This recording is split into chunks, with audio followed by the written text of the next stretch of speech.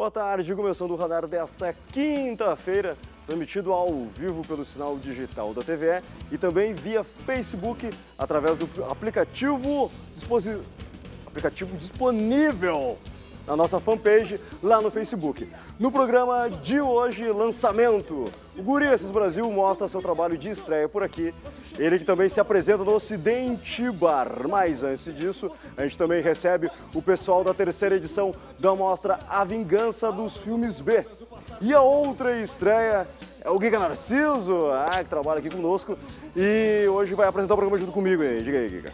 Dale, é isso aí. Né, e como tu mesmo falou, nessa estreia, pré-estreia, né, a gente já começa com Guri de Assis Brasil mandando som. Bora lá, velhinho. Eu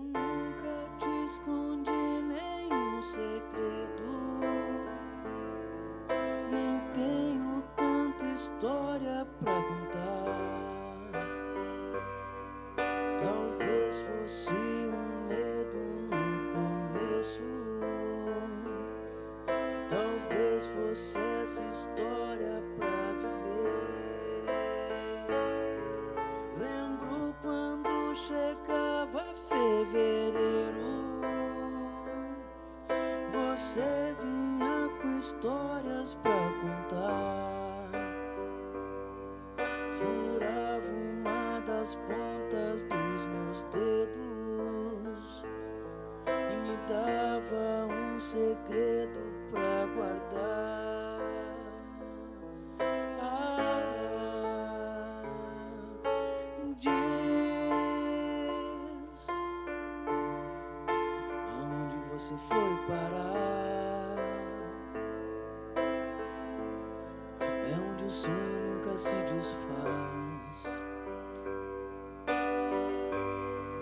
Aqui o sonho nunca se desfez.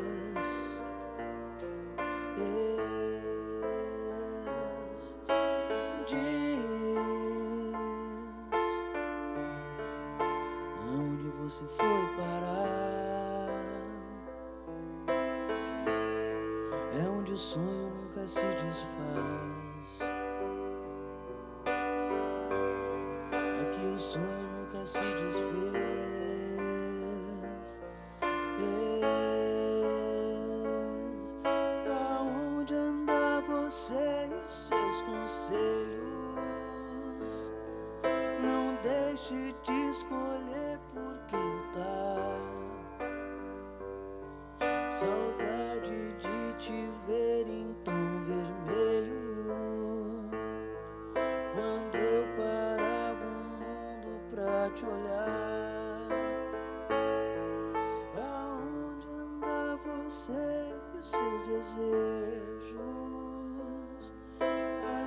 Gente não escolhe o que sonhar.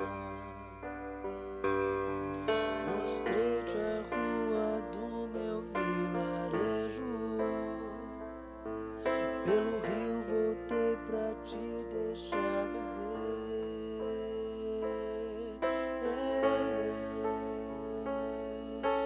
Diz aonde você foi parar. Sonho nunca se desfaz. Aqui o sonho nunca se desfez.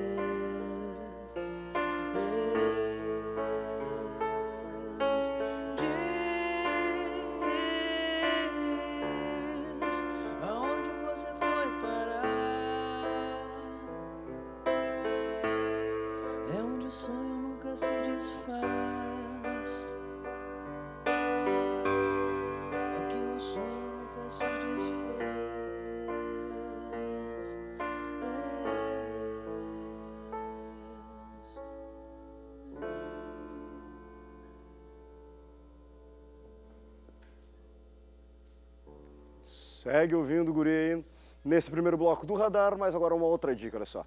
De segunda a sexta, dessa, de, é, segunda a sexta, de se- sexta a domingo dessa semana acontece na Sala PF Gastal, terceiro andar da usina do gasômetro, a terceira edição da mostra Vingança dos Filmes B.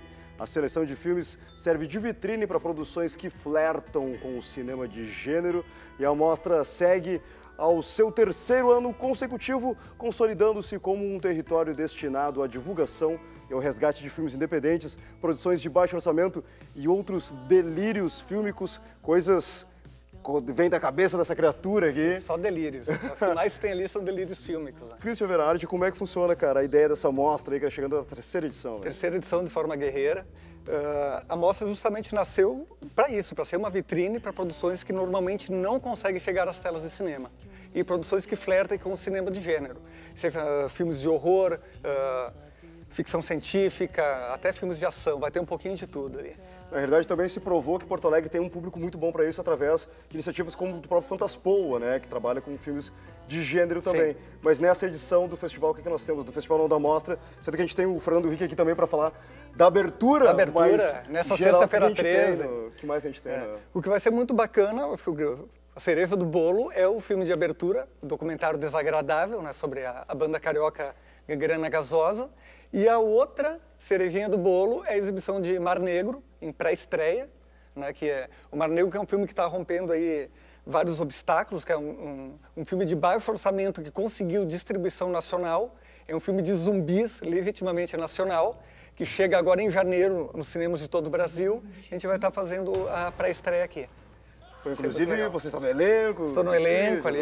Veja só. Não vou nem adiantar para quem não viu ainda como é que é o personagem do Christian. É, é o segredinho. Vale, vale, vale, vale a pena, mas é bem a cara dele mesmo. Uh, Fernando, a gente tem, tá rolando imagens ali do... É do? Não, isso é da mostra em geral ali, isso é, é. do... Esse é o Mar Negro. Isso é o Mar Negro mesmo, né? Uh, mas, cara, tu tá aí para mostrar um teu segundo documentário sobre bandas underground uh, paulista, né, cara, na realidade. É, na verdade, essa é carioca. A, a primeira é. foi o documentário sobre o Ratos de Porão, Guidable, que foi em 2008, 2009, acho que eu estive aqui em Porto Alegre, lançando ele. E agora, 2013, Gangrena Gasosa, que é uma, um filho do, do, do Ratos de Porão. Os caras criaram a banda para abrir um show do Ratos de Porão e acabou se tornando umas coisas mais bizarras que já surgiu do Rio de Janeiro, assim. É uma banda que mistura heavy metal, hardcore e macumba, assim, de um jeito muito único. Por exemplo, eles jogam é, farofa e despacham no, no, público, se veste de identidade no palco. E é uma sonzeira louca também, não? sem pudores. Assim. E muita, assim como do próprio documentário do Ratos Forenses, tinha muitas, eles têm muitas histórias para contar. Tipo, o pessoal também do Gangrena também tem muitas histórias para contar, então tornam o documentário bem peculiar também, né? Todo cara? tipo de bizarrice, de espancamento, atropelamento por, de, por trem, assim. É um povo louco da zona norte do Rio de Janeiro. Desde isso aí surgiu no, início dos anos 90 e vem até hoje, assim. E cada então é o maior conglomerado de malucos que, que conseguiram arranjar lá, cara. E passou milhões de gente pela banda.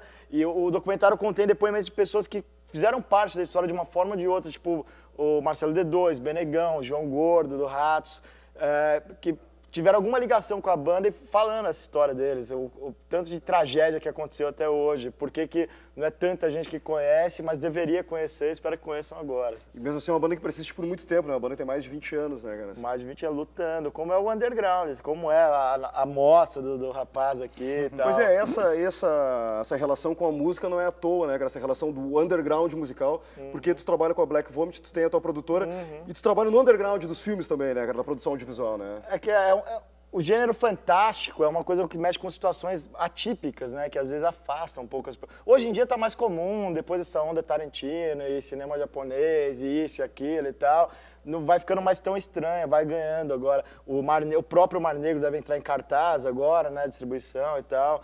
É uma coisa que por por essa luta de pessoas igual ele, que vai fazer esse tipo de mostra, festival e tal, vai apresentando para o grande público uma coisa que ficava restrita a nichos, né, cara? É importantíssimo isso. Nas duas edições anteriores da mostra já dá para registrar, assim, tipo, uma mudança de público ou ainda é uma galera que, que migrou, de repente, do Fantaspo, ainda é uma galera tem pintado mais curiosos como é que tá funcionando? Uh, eu acho que está fazendo um público próprio, mas também, claro, tem muita gente que também frequenta o Fantasposa, conhece o gênero, ama o gênero e acaba também participando da mostra. Mas ocorreram coisas curiosas uh, numa, uma, numa sessão uh, ano passado do filme A Noite de Chupacabras, quando terminou a sessão, chegou um senhor idoso para falar comigo. Ele disse: Nossa, que bacana tu exibir esse filme. Eu jamais pensei que no Brasil se produzisse uh, filmes como esse. Então é que as pessoas desconhecem mesmo porque não chega até elas.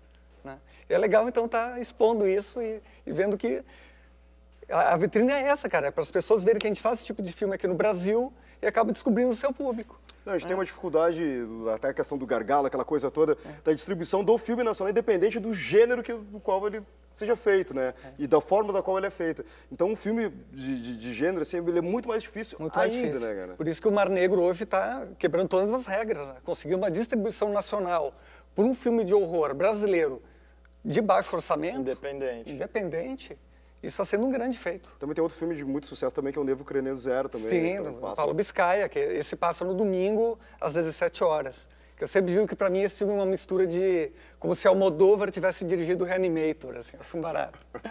Então, a programação a galera encontra na rede, por onde? Christian, por favor. Pode ser pelo blog da Sala PF Gastal, Sala PF Gastal Blogspot, ou através do Cinemax Máquina ah, no WordPress.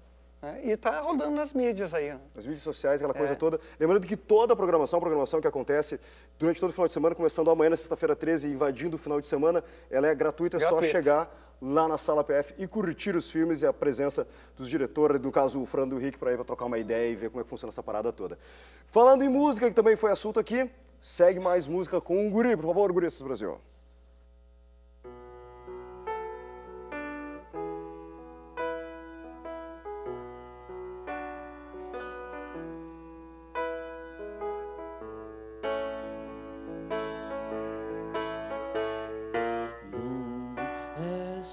Se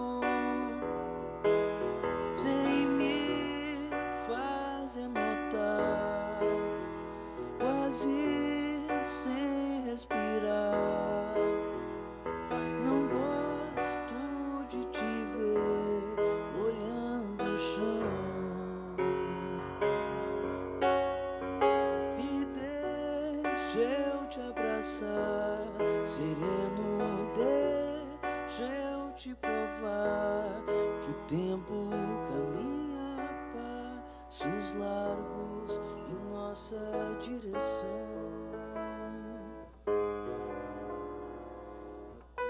Acostumei os meus sapatos a desviar daquela rua que ainda não posso ir com você.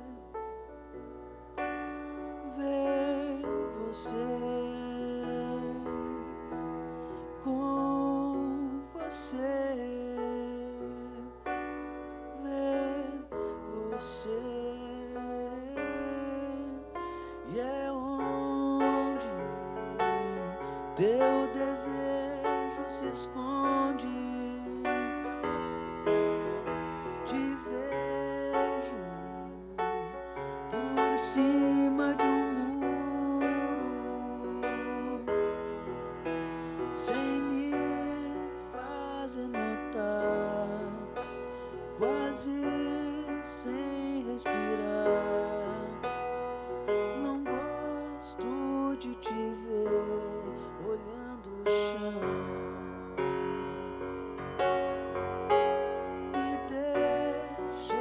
te abraçar, sereno, deixa eu te provar que o tempo caminha passos largos em nossa direção.